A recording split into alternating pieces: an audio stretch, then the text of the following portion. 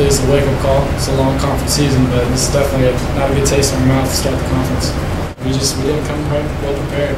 That's can't point at anybody but us, not the coaches, not scouting. I mean, Long Beach played well, but that's, that was not our best game.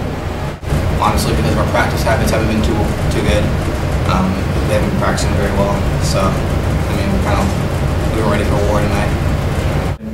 I don't think our preparation was good, and I don't think our mindset in this game was anywhere near what it needed to be.